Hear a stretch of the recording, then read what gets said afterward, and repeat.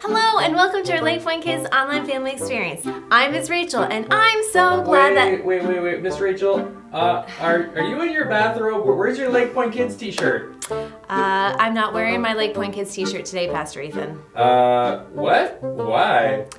Pastor Ethan, we have filmed over 175 Lake Point Kids online experiences and I have worn that t-shirt every single time. Plus, I wear it all the time on Sundays too. The kids probably think I have a closet full of Lake Point Kid t-shirts and nothing else.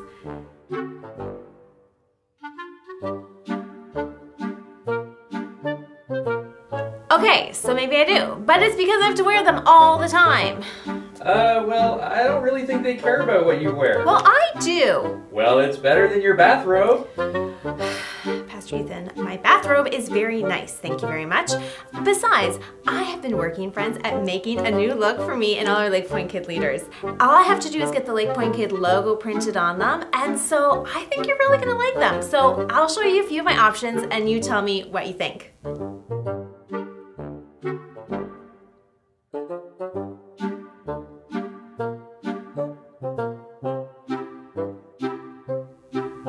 So, what do you think? Pastor Rachel, those are awful. Your blue Lake Point Kid T-shirt is much better. But it's old, it's boring, it's predictable. I'm just not happy wearing it anymore. It's much better than any of those options. Look, have you read over your script for today? Do you even know what we're talking about this month?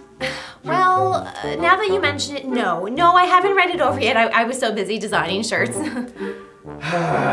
Take a few minutes to give it a read, then come back.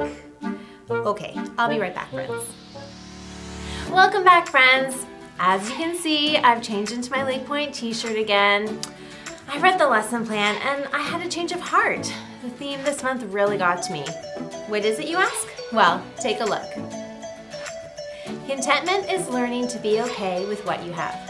I'll count to three and then we'll say it together. One, two, three. Contentment is learning to be okay with what you have. So instead of whining and complaining that I have to wear the same tee every week, I can just get over it and be fine with it. I mean, I'm thankful that the shirt fits and it's free of holes. And if I'm being honest, it does make getting dressed in the morning super easy. And you know, blue is a nice color and I could it up a little bit each week with different scarves. I could I could put different No, no, never mind. No, I don't need it. I am content with this shirt. It's all good. You know, being content with my blue Lake Point Kids tee isn't just an idea Pastor Ethan had. Jesus talks about contentment in the Bible. Then he said to them, Watch out, be on your guard against wanting to have more and more things. Life is not made up of how much a person has. Luke 12, 15, NIrV. Jesus is telling us two important things. First, life is more than what you have, the things you own, and the shirts you wear. And second, wanting more and more, it isn't good for you. Don't get tricked into thinking you need more because it really doesn't matter. All right, now let's rehearse the verse.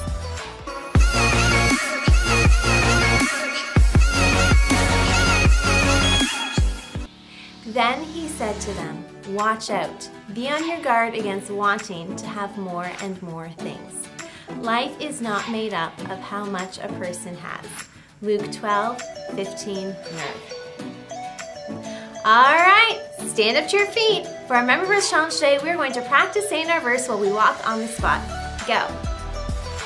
Then he said to them, Watch out, be on your guard against wanting to have more and more things.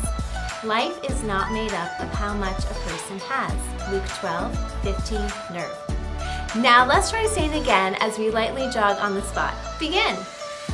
Then he said to them, Watch out, be on your guard against wanting to have more and more things.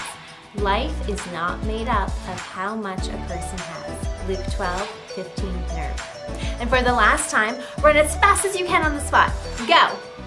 Then he said to them, Watch out, be on your guard against wanting to have more and more things. Life is not made up of how much a person has.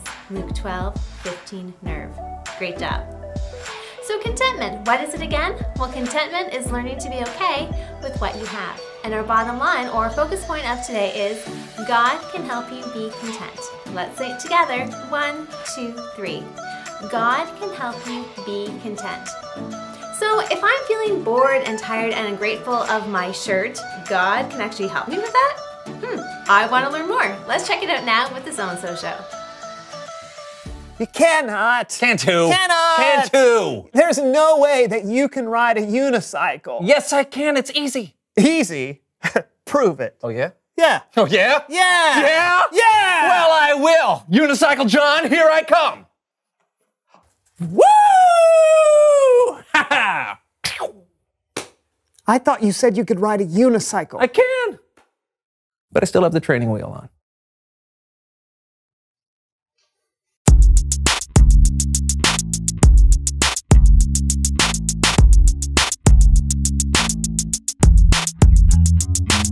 Hello, everyone. I'm Brandon. And I'm John. And this is the So and So Show. John? yeah. You going on a bike ride? Oh, yeah, yeah, yeah. I'm trying to get out and get some exercise every day, so I've been taking rides around the neighborhood. Oh, that's a nice looking bike. Oh, yeah? You Yeah, think so? I do, Man, I've had this thing for a few years. I mean, sure, it's a little old, little rusty, but it still takes me where I want to go. That's all I need. Ever look at your old rusty bike and think, this is all I need? Uh, yes? well, you're wrong. Looney Larry here with the latest deals in physical fitness to keep you as healthy as a horse. Horses are not particularly healthy. Ugh! I was hoping to get some exercise, but what's the deal with all this fresh air? Gross! I wish I could get sweaty in air conditioning and pay a lot of money for something I could do for free. Lucky you! Introducing the Laraton, a top of the line exercise bike. Want to ride a bike but not go anywhere? Get a Laraton today and ditch your old, sad, bad, rusty, barely functioning, low quality, stinky, unacceptable, cheap downer of a bike. It'll make your life better. Would I lie? I must have one. But, John, Oh, it's here! Oh, help me move it in. Come on, come on, I'm sure it's heavy. 12 and a half minutes later. well, Well, what? is it worth it? Are you happy now? Oh, yeah, I'm so happy. Good. This is way better than a bicycle that actually goes places. Now I've got everything I need. Are you absolutely sure your Laraton has everything you need? I was sure. Well, now you can upgrade your Laraton device with this attached digital display. Be instantly transported to other locales as you exercise. You can bike in the woods. Turn of the century London. A dystopian future. Your very own home. We've got all sorts of options. What? Look, I'm in outer space. Order a Laraton today. It is out of this world.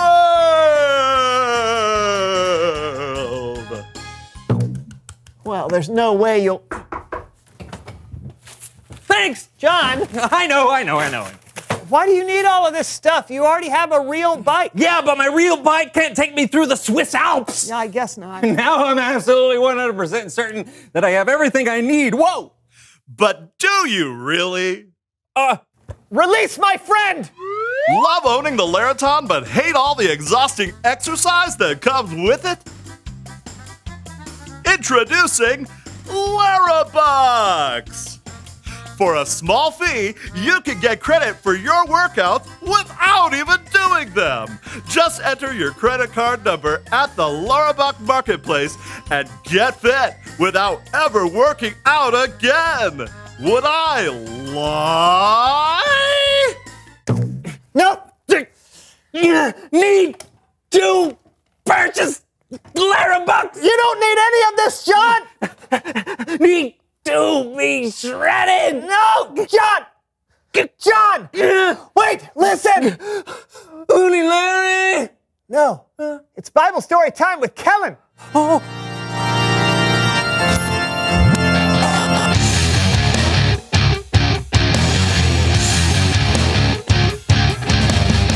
Hey guys!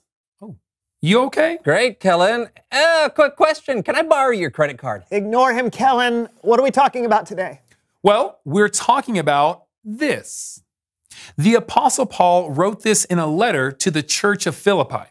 You can read it in the book of Philippians. Paul wrote, I have learned the secret of being content no matter what happens. You see, Paul knew what it was like to have more than he needed, and he also knew what it was like to not have enough. In fact, when he wrote these words, Paul wasn't a free man. He was being held under house arrest. So, what is it, Kellen? What's the secret of being content? Well, I'll tell you. After we check in with our friends Becky and Bathilda. Whoa! Look at the haul of candy these two have. This, my friends, is what it looks like to have more than you need. And you'd think it should be easy to be content in a situation like this, right? But then, Bathilda, Who would do this? Who would do this?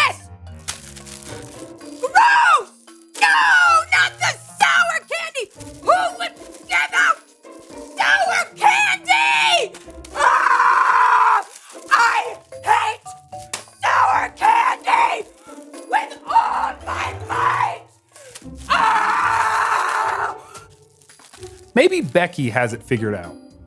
Peanut butter? Oh, no, no, no. I don't like peanut butter. Mm-mm. Okay, yeah, these got to.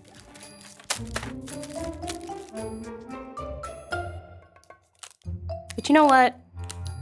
My dad likes peanut butter. So I'll just set these aside for him. You see that? Becky was able to turn something she didn't like into a positive, while Bathilda, well, she lost her cool. Becky was content, while Bathilda was not. And that's when things are going good. What happens when things aren't so good? Aw, it looks like Becky and Bathilda are a little under the weather. Okay, maybe a lot of it under the weather. This would be one of those times when it's hard for anyone to be content. I'm uncomfortable! Dad! I need more pillows! Hello? Bathilda's a little upset. And I totally get it. I can get that way when I'm sick too, or when I'm hungry, or when I don't get my way, or when someone has something that I want. It isn't always easy to be content. But then Paul wrote that he learned the secret of being content no matter what happens. Thank you for the ginger ale. I wish I wasn't sick, but it's nice to know that I have someone taking care of me.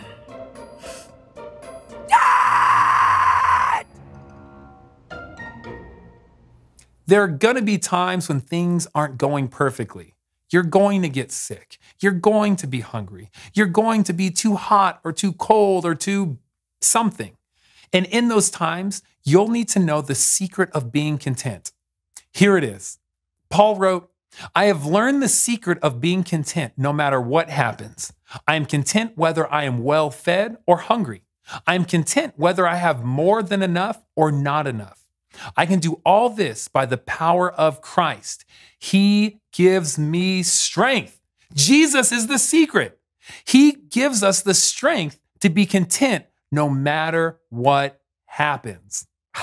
So, Jesus can help me be content and stop obsessively upgrading my Laraton? Sure. Then why do I still want Larabucks? Well, it's like what Paul wrote I've learned the secret.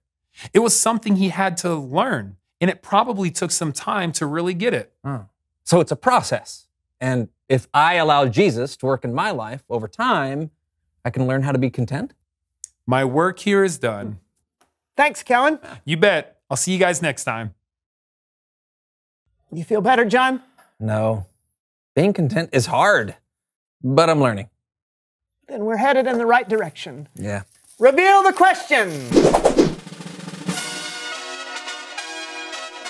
When is it hardest to be content? Oh, well, it's obviously hard to be content when things are bad, but I actually think it's really tough to be content when things are close to perfect. Yeah, I totally get that. Like when you're at a theme park for a big vacation, but have to wait in a long line. Or, or when you've got exactly what you need and uh, something better comes along. Yeah, but is the Laraton really better? Uh, nah, I think I'm going to return it. All sales final. Okay. Well, good luck with that. Until next time, I'm Brandon. And I'm John. This was the So and So Show. You know what I could do with this? What could you do? Hang laundry on it. Oh, that's Yeah, great. That would yeah. get it nice and dry. Yeah. Yeah. This would get nice and dry from my sweat. You know, an exercise bike is all well and good, but riding a bike in the great outdoors, well, ain't nothing better. Woo! Look at this scenery. wow, this feels great. You can feel the wind. Can't see it, but you can feel it. Far. There you go. Woo!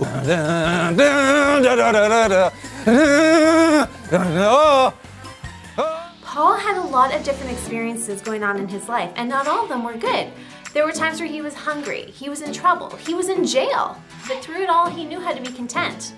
How did he do that? How can we do that? Well, Paul wrote that he had learned to be content no matter what. The key word there is learned. Paul had learned how to be content, just like you learn what 2 plus 2 is and how many letters are in the alphabet. Sometimes learning contentment will be easy, but sometimes learning contentment takes time.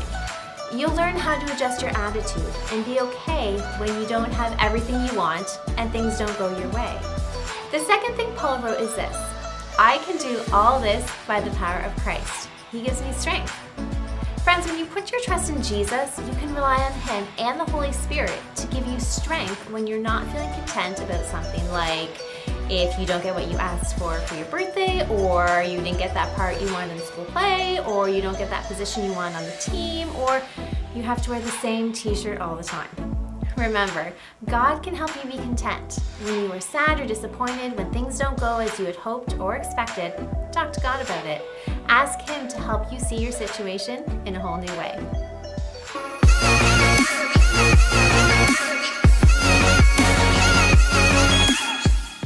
It's time to bring it home now with our small group time, so along with your parent, listen to today's instructions. First off, I want you to think, is there something in your life you are not content with?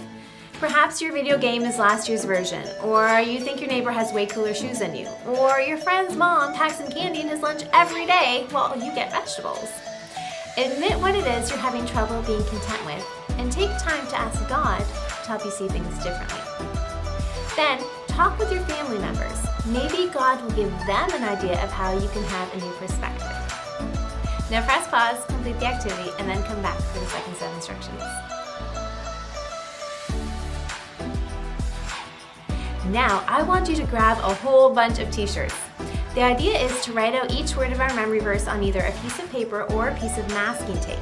Then attach each word to a t-shirt. Scramble them all up and then put the verse back in order again. Then afterwards have everyone pitch in to fold the shirts and put them away. Parents, now's the time to either scan the QR code on the screen or head over to the Lake Point app to build our online connection card. Signing our guest book lets us know who's watching and helps us stay connected to you. It also allows you to sign up for our latest Lake Point initiatives and opportunities. So kids, while your parents are busy doing that, why don't you go count and see how many t-shirts you have, especially the blue ones.